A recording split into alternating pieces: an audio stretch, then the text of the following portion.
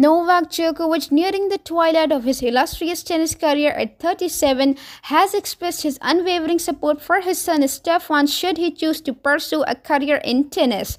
Despite a challenging day on Sunday, where Djokovic suffered a straight sets loss to Carlos Alcaraz in the 2024 Wimbledon final, the 24-time Grand Slam champion remains deeply connected to the sport.